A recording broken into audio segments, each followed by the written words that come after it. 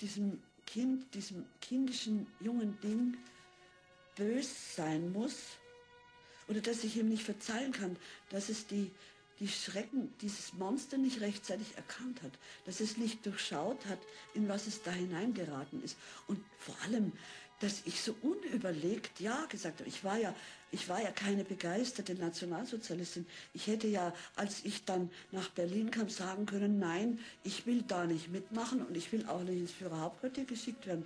Ich habe es aber nicht gemacht, aber da war die Neugier so groß und irgendwie habe ich das auch nicht so, ich habe ja nicht gedacht, dass mich das Schicksal so vorantreibt an eine Stelle, die ich überhaupt nicht angestrebt habe.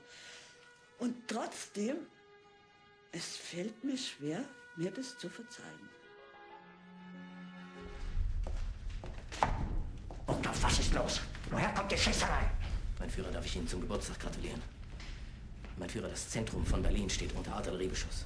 Granaten sind in dichter Folge am Brandenburger Tor, am Reichstag und bis hin zum Bahnhof Friedrichstraße eingeschlagen. Von wo kommt der Beschuss? Mein Führer, wir haben noch keine Meldung. Ich spreche gerade mit Koller. Koller, geben Sie mir Koller. Koller. Sie wissen, dass Berlin unter Artilleriefeuer liegt. Nein. Ja, sagen Sie. Hören Sie den Beschuss nicht? Nein, ich bin im Wildpark Werder. Richtige Aufregung in der Stadt. Die Russen sollen eine Eisenbahnbrücke über die Oder haben. Der Feind hat keine Eisenbahnbatterie an der Oder. Es handelt sich hier nicht um Fernfeuer. Der Divisionsgefechtsstand der Flak am Zoobunker meldet, dass es sich hier um Geschütze nur des Kalibers 10 bis 12 Zentimeter handelt. Die russische Batterie ist bei Marzahn in Stellung gegangen. Das sind ja nur zwölf Kilometer bis zum Stadtkern. Ist der Russe schon so nah? Man müsste die ganze Luftwaffenführung sofort aufhängen! Das ist unerhört. Unerhört. Der Russe steckt zwölf Kilometer vom Stadtkern. Und ich erfahre das sozusagen auf Nachfrage. Alles für Deutschland. Heil, mein Führer. Mein Führer, ich. Heil, mein Führer. Die können es ja gar nicht erwarten, endlich mitzukommen. Heil, mein Führer. Was mir am meisten stört, ist die Schleimerei. Wer an Sie glaubt. Nach vorn Sieg heil und nach hinten leckt mir mal abhängt. Mein Führer, ich flehe Sie an, verlassen Sie Berlin. Noch ist es nicht zu spät. Zu spät? Ebel, kommen Sie doch mal hier bitte. Mein lieber Hebel, Sie sind doch auch der Ansicht, wir sollten Fühlung aufnehmen mit den Alliierten. Politik machen. Ja, in der Tat. Wir sollten Politik machen. Politik? Ich mache keine Politik mehr. Das widert mich so an. Wenn ich tot bin, werdet ihr noch genug Politik machen müssen. Mein Führer, Es ist gut, mein lieber Himmler. Mein treuer Heinrich. Es ist gut. Gehen Sie nur.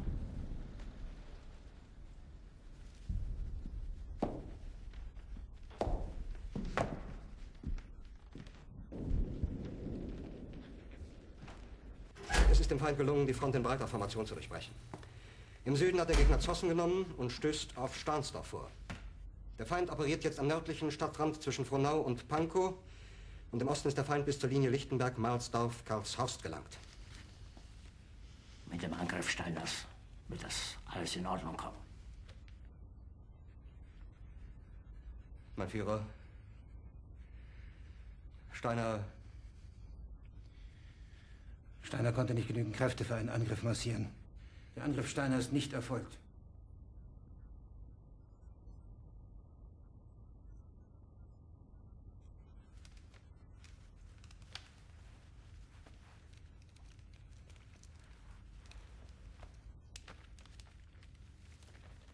Es bleiben im Raum Keitel, Jodl, Krebs und Burgdorf.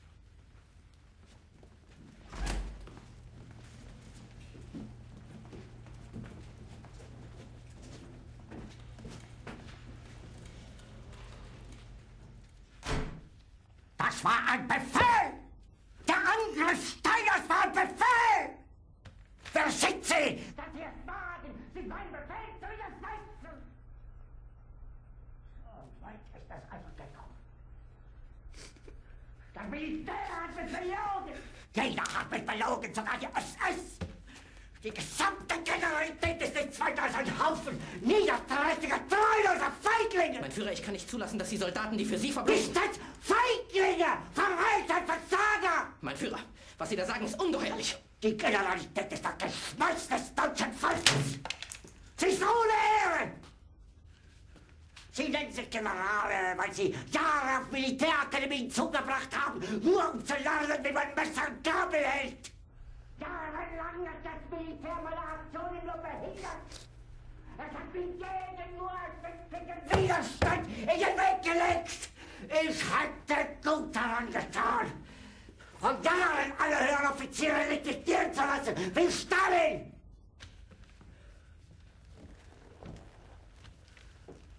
Ich war nie auf einer Akademie. Und doch habe ich allein, allein auf mich gestellt ganz Europa erobert. Verräter! Von allem Anfang an bin ich so verraten und betrogen worden.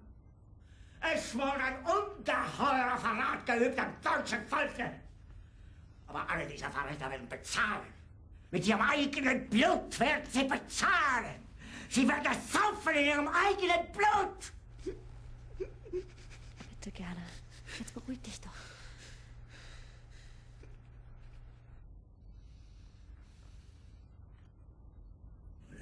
Befehle sind in den Wind gesprochen. Es ist unmöglich, unter diesen Umständen zu führen. Es ist aus.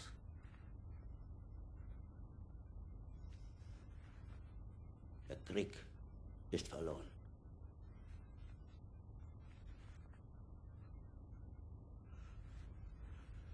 Aber wenn Sie, meine Herren, glauben, dass ich deswegen Berlin verlasse, irren Sie sich gewaltig. Eher jage ich mir eine Kugel durch den Kopf.